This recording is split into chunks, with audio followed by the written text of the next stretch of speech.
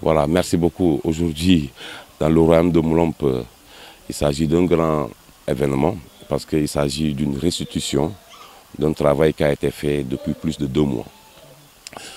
Euh, la restitution porte sur l'homologation ou la régulation des produits locaux, tels qu'annoncés comme tout à l'heure.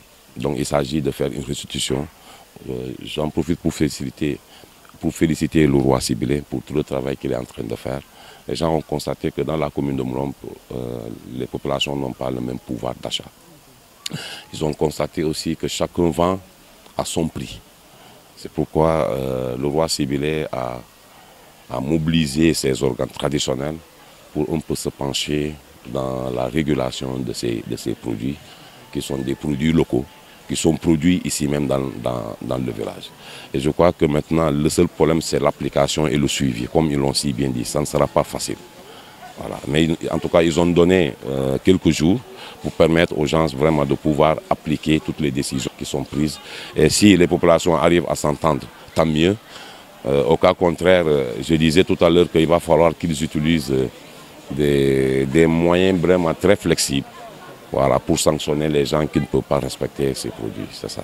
Voilà, je crois que tous les produits qui sont annoncés, l'application sera beaucoup plus délicate pour le produit qu'on appelle le poisson.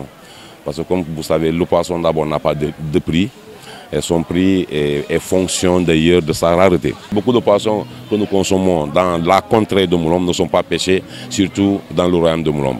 Le poisson nous vient de Elenkin, le poisson nous vient de Guéremeït, le poisson nous vient surtout aussi de Point-Saint-Georges. Et ces trois villages que j'ai cités ne font pas partie du royaume de Moulombe. C'est là où il y aura la difficulté. Mais nous avons quand même un point de pêche aussi. Il y a Beignet, il y a Enoum, il y a aussi euh, Kanoupa.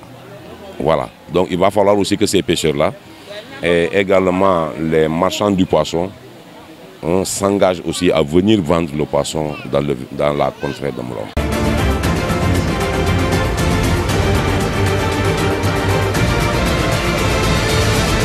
regional.